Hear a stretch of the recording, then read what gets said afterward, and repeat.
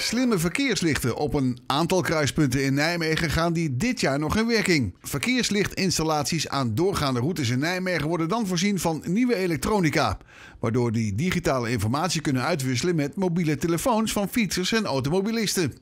Het licht kan dan op groen springen als ze naderen. De bestuurders moeten daartoe een app installeren die nog door bedrijven ontwikkeld moet worden. Het gaat in eerste instantie om verkeerslichten die langs de grote doorgaande wegen staan, zoals de singles en de S100.